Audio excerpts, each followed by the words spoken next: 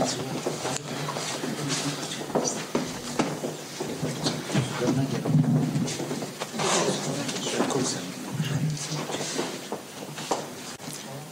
ok? Putem să începem, colegi? Să ne spuneți dacă și dumneavoastră sunteți gata. Bună ziua!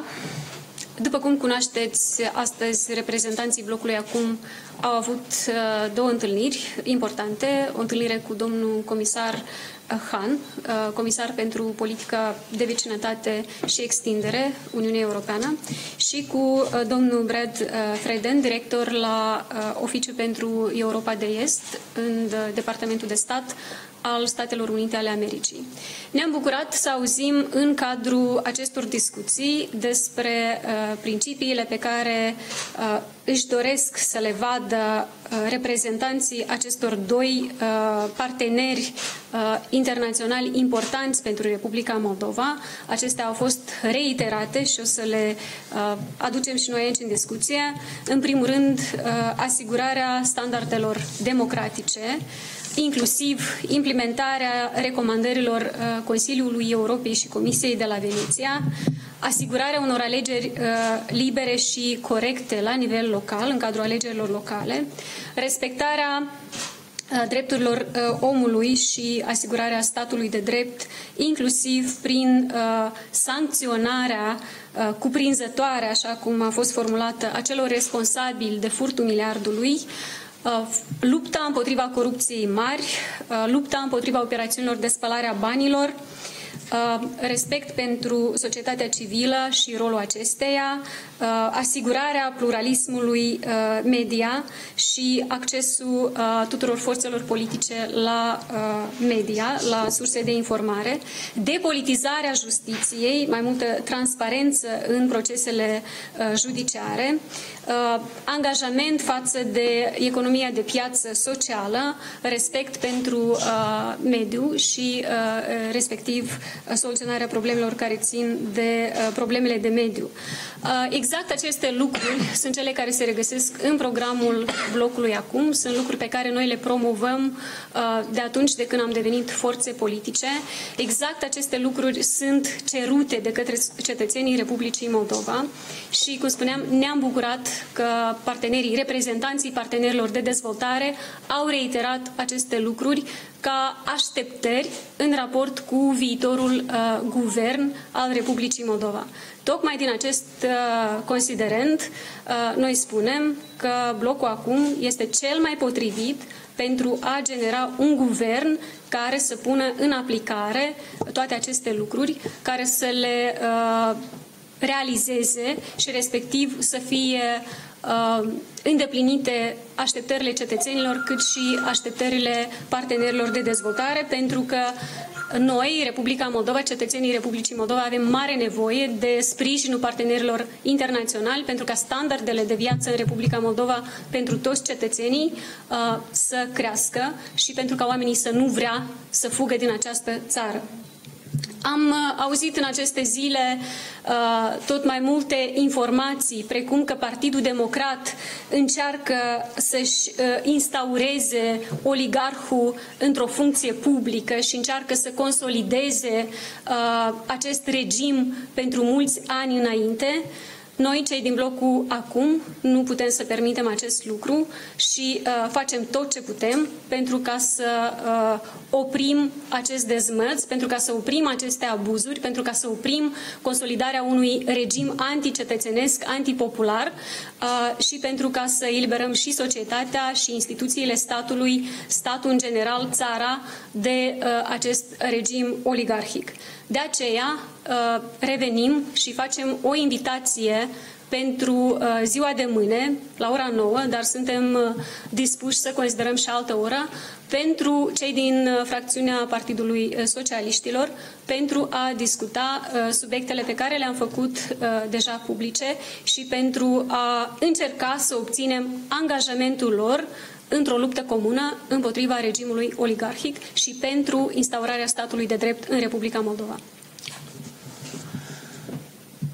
Bună ziua tuturor! Nu știu cu ce ar trebui să încep. Încă să continu ceea ce spunea doamna Sandu sau să vă amintesc că acum un an de zile Chișinău își alegea primarul. Despre aceste lucruri am vorbit și astăzi împreună cu interlocutorii noștri, dar probabil la sfârșit voi reveni la acest subiect. Am avut astăzi discuții cu Johannes Hahn, comisarul european pentru extindere și oficialul Departamentului de Stat american, Bradley Freden. Am reiterat disponibilitatea și determinarea noastră de a face funcțional forul legislativ suprem.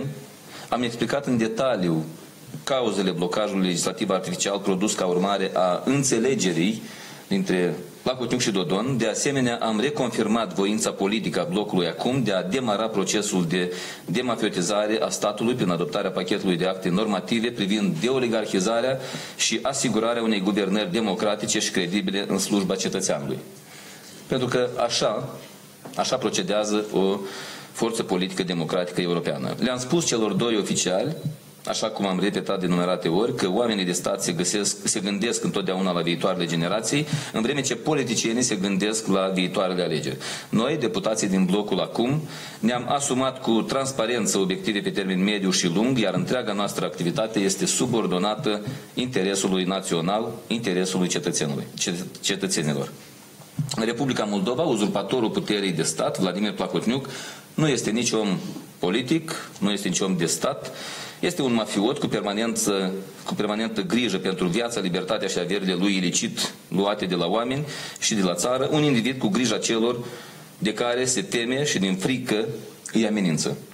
Din cauza acestui personaj malefic, este cu neputință să purtăm discuții cu PD, un lucru regretabil, bineînțeles. Pentru Vladimir Placutiuc, Moldova este doar o moșie, oamenii sunt tratați ca sclavi, iar generațiile viitoare nu reprezintă nimic, ele nu contează, cum nu au contat copiii schilodiți de slugile lui Placotniuc la 7 aprilie 2009, când s-a produs o lovitură de stat, al cărei beneficiar este chiar el. În acest moment, Placotniuc pregătește o nouă lovitură de stat menită să-i asigure uzurparea definitivă a acestui stat. În condițiile în care PD și Placotniuc dețin control asupra procurorului general și al justiției pe care le folosesc ca pe bâtă politică împotriva oponenților politici, activiștilor civici, prese independente, o eventuală coaliție a PD cu socialiștii va fi nu doar prorusească, așa cum susține Dodon, dar și profund antipopulară. Eliberarea Moldovei de sub dominația unui regim dovedit în repetate rânduri mafiot și criminal este principala preocupare a deputaților blocului acum. Nimic nu se poate construi pe scheletul unui sistem dovedit ca fiind opresiv, subordonat în totalitate unui singur om și intereselor sale de afaceri. Placotniuc în complicitate cu Dodon sunt aproape să tranzacționeze puterea, să-și împartă sferele de influență și să mențină un regim opresiv care nu are nimic în comun cu democrația și cu regulile, valorile și principiile acesteia. Poziționarea noastră politică a reprezentanților blocului acum în discuțiile cu cei doi interlocutori din Europa și Statele Unite ale Americii, a fost una previzibilă pentru partenerii noștri de dezvoltare. Motiv pentru care, acum, în momentele în care se pregătește cel mai probabil capturarea definitivă a Republicii Moldova, aceste discuții au avut importantul rol de a clarifica și cristaliza cele două abordări esențiale, dar atât de diferite pentru viitorul parcurs al Republicii Moldova. Pe de o parte, este vorba despre Plahotniuc și complicii săi, care vor puterea cu orice preț pentru a-și conserva privilegiile și a perpetua un regim oligarhic, mafiot și opresiv, iar opozabil acestora este blocul acum, singura forță pro-europeană, autentică, care s-a născut dintre oameni și care își respectă cu sfințenie mandatul primit din partea cetățenilor, un mandat care, în mod explicit, are ca principal obiectiv eliberarea și demafitizarea Eh, Republicii Moldova, democratizarea acesteia și, bineînțeles, prosperitatea pentru cetățenii săi. I-am asigurat pe cei doi parteneri cu privire la decizia noastră a deputaților acum că nu vom renunța sub nicio formă și în niciun context la misiunea noastră de a aduce democrația în Republica Moldova. Mai mult decât atât, am transmis Europei și Americii, întregii luni civilizate, mesajul nostru ferm că, indiferent de evoluții, vom rămâne cea mai transparentă și democratică forță politică din Republica Moldova. Am sentimentul și îl avem cu toții că mesajul nostru a fost înțeles de către comisarul Han și în forma sa laconică a fost prezentat presei în comunicatul său. Ceea ce contează pentru Uniunea Europeană, pentru partenerii noștri de dezvoltare, sunt faptele măsurile concrete pe care le va lua guvernul pentru respectarea statului de drept, pentru reducerea fenomenului migrației și alte probleme cu care se confruntă Republica Moldova. Interesul Uniunii Europene, așa cum spune comisarul Han, este să avem un vecin prosper și unde să fie pace. Mulțumim. Da, avem câteva întrebări. Patricia Pădărani de la Protele. Da. La ce compromisuri sunteți gata să ajungeți cu cei din uh, Partidul Socialist, astfel încât ei să accepte, le oferiți în continuare funcția de președinte al Parlamentului, pentru că de altfel așa le-au promis în democrație? În condițiile în care se votează pachetul de legi uh, prin care se începe procesul de dezoligarhizare a țării. Dar tocmai pentru ca să discutăm aceste subiecte, cred că este uh, judicios să avem o întâlnire și să uh, clarificăm toate lucrurile acolo. Sunteți gata să acceptați pe Zinaida Greceani ca și premier? Aceste lucruri urmează să fie discutate. În momentul în care vom avea discuții, atunci vom uh, spune uh, ce uh, se va întâmpla. Nu a venit o solicitare în acest sens, în momentul de față, deși logic, așa ar fi trebuit să fie din partea unui partid care vine cu 35 de să aibă 35 de mandate, un număr cel mai mare în Parlament. Ați văzut care au fost solicitările uh, socialiștilor. Dacă va veni o asemenea propunere, bineînțeles, va fi discutat. Nu credeți... Nu, nu Unde? Vorbeam aici de premier, pentru că asta ați întrebat dumneavoastră. Da, faptul că acum uh, socialiștii sunt curtați și de democrație, acest lucru nu înseamnă că ei ar putea cere mai multe, ar putea pune mai multe condiții? Sunteți este decizia gata? dânșilor dacă vor să uh, participe la procesul de consolidare a sistemului oligarhic care va nimici această țară până la capăt sau dacă uh, vor da dovadă de responsabilitate în fața propriilor alegători și în fața tuturor cetățenilor Republicii Moldova și vor fi deschiși pentru discuții raționale. Ceea ce trebuie să reținem cu toții este faptul că noi nu negociem principii, nu ne negociem valorile, nu le punem la vot, așa cum nu punem la vot adevărul, așa că tot felul de aceste discuții apărute în spațiul public, cedări dintr-o parte, cedări din alta, nu pot fi scoase din context. Aceast, acest anunț vine ca urmare a vizitei, a vizitelor acestor oficiali străini sau uh, ține de faptul că se anunță, se vehiculează că ar urma să aibă loc uh, un eveniment în centrul capitalei organizat de democrați? De ce este condiționat acest anunț? Noi cu toții suntem conștienți că Republica Moldova poate să avanseze pe calea prosperității mai repede cu sprijinul partenerilor internaționali. Și atunci când vorbim de consolidarea instituțiilor și a proceselor democratice și atunci când vorbim de resurse pentru ca să avem mai multe proiecte sociale și de infrastructură pentru oameni, știm că e nevoie de sprijin din afară. Și în contextul acestor vizite, când au fost reiterate lucruri foarte concrete, așteptările Occidentului fiind uh, consolidarea statului de drept, fiind investigarea furtului miliardului și sancționarea celor uh, vinovați, fiind îndeplinirea recomandărilor Consiliului Europei și Comisiei de la Veneția. În contextul acestor uh, lucruri care au fost spuse tranșant, noi revenim și spunem că suntem cei mai potriviți, uh, cei mai credibili ca să realizăm aceste lucruri și respectiv să asigurăm Republicii Moldova resursele de care are nevoie pentru ca să se miște mai repede spre calea prosperității. Pe de altă parte, uh, există și aceste amenințări din partea unui regim care se simte uh, vulnerabil, speriat, amenințări către oameni uh, pentru ca să îl propulseze pe Plahotniuc într-o funcție sau alta, pentru ca să-l păstreze la cârma țării. Și noi fiind conștienți de acest risc, cu toții, trebuie să facem tot ce putem, inclusiv să uh, purtăm discuții cu Partidul Socialiștilor, pentru că nu o facem de plăcere, să fie clar pentru toată lumea. Uh, trebuie să încercăm să găsim o soluție pentru ca să nu permitem ca acest regim, cum spuneam, să rămână pentru mulți ani înainte și să distrugă cu totul uh, societatea noastră. Mulțumim. Ă, astăzi vine la Chișinău Dmitri Cozac. Vreau să știu cine va reprezenta blocul acum la întâlnirea cu dumnealui. În momentul în care se va lua o decizie finală și dacă colegii de-ai noștri vor participa la această întâlnire, o să vă informăm neapărat. Dar este adevărat că europenii v-au cerut ă, să nu mergeți la întâlnirea cu domnul Cozac, pentru că dumnealui face parte din listele persoanele împotriva cărora i-a impus sancțiuni? Europenii nu ne pot uh, cere nimic, europenii uh, pot să se dea cu părerea despre un eveniment sau altul, dar ei nu se implică în deciziile, în procesul de luare a deciziilor.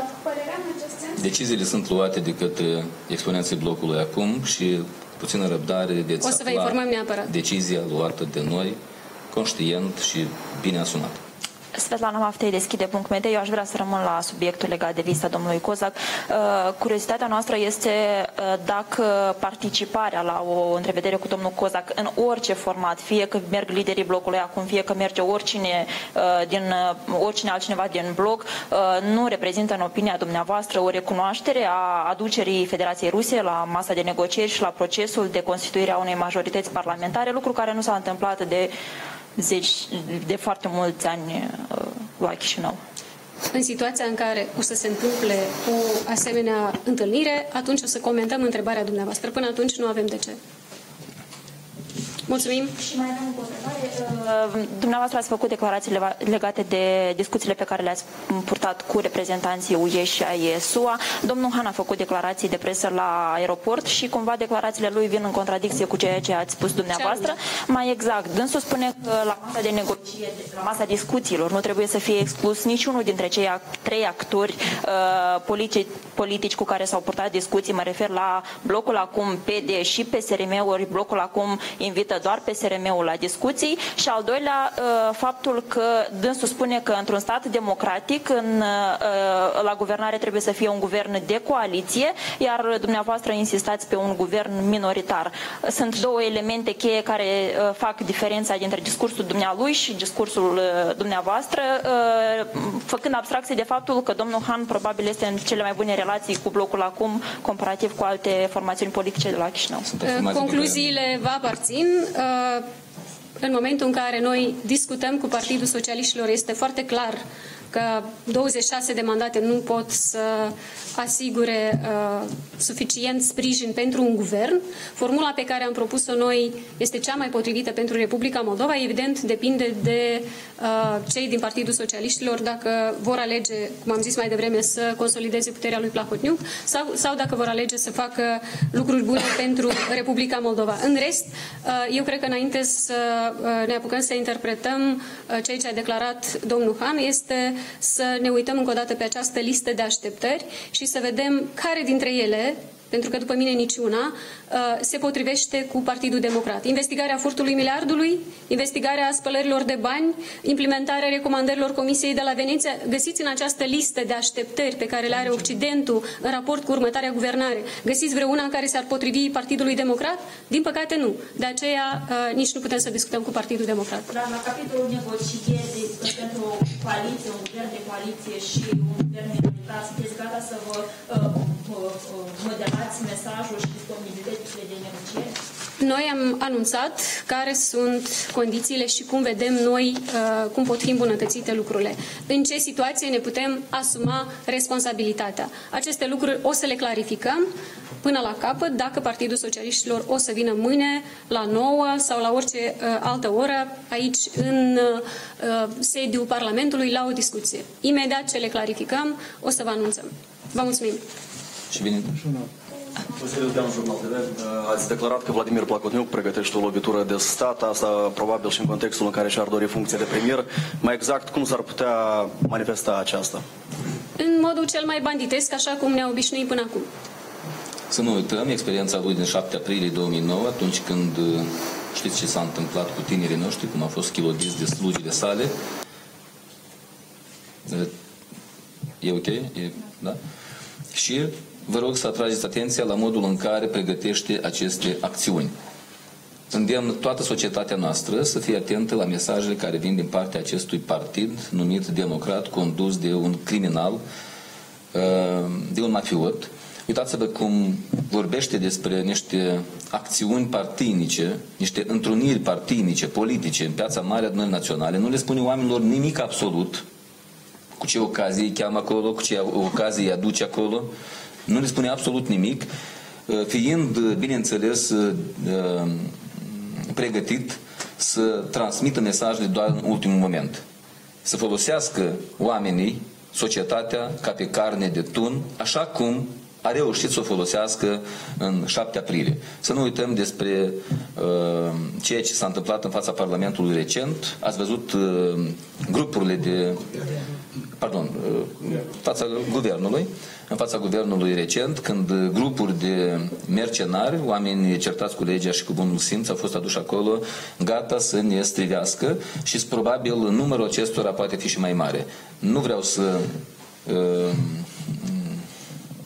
transmit un mesaj de frică, de teamă, din potrivă, îndemn societatea să fie consolidată, să fie unită și să nu dea curs acestor inițiative a lui Plahotniuc de a është Alban, pjela ku acoperindu-se cu prezența masivă a unor oameni, în mare lor parte, necăjiți de sărăcia, corupția, exodul la care au fost supuși în ultima perioadă de timp de acest individ. Cel puțin oamenii din sistemul educațional ne-au spus că au fost informați că există pericolul ca cei din blocul acum să voteze pentru pachetul de legi împreună cu socialiștii și că ei urmează să fie mobilizați pentru a protesta împotriva acestui lucru. Haideți să vedem cât de ipocrit este acest om în situația în care face o invitație la negocieri pentru socialiști și dincolo încearcă să mobilizeze oameni împotriva unui vot comun pentru uh, legile antioligarhice. Portalul Zearul Național scrie că uh, blocul acum îl va delega pe, îi va delega pe Igor Munteanu și Oazun Antoi la întâlnirea cu uh, domnul Cozac. Este adevărat? Uh, sunt niște Vorbiți cu cei de la uh, Ziarul Național, pentru că noi oficial nu am dat nicio informație. Nu avem o decizie finală. În momentul da. în care o să fie o decizie finală, nu o să vă ascundem. O să vă confirmăm întâlnirea și o să vă spunem ce s-a întâmplat la această întâlnire, dacă se va întâmpla. Până Ei atunci, toate surse... întrebările la Ziarul Național. Ei citează surse din cadrul blocului. La revedere. Numai bine. Astăzi, da? Da unde? Unde va fi